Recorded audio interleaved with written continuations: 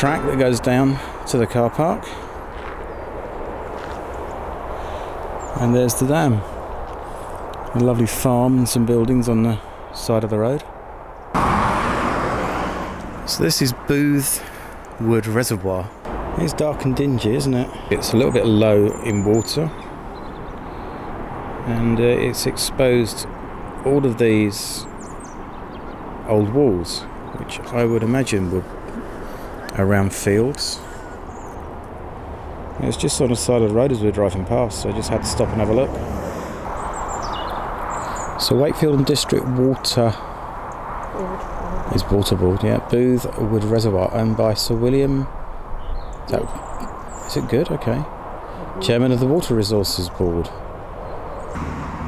Oh, this is interesting.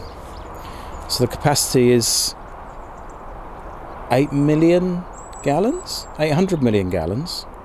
Yeah. The water area is 64 acres, maximum depth 152 feet. Although I don't think there's 152 feet in there at the moment. The over, overflow sill,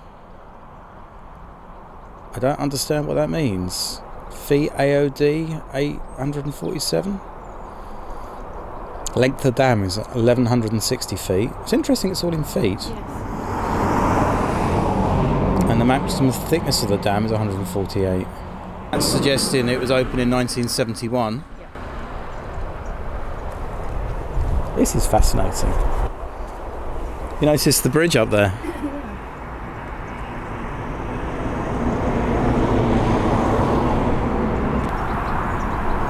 It's just across the dam.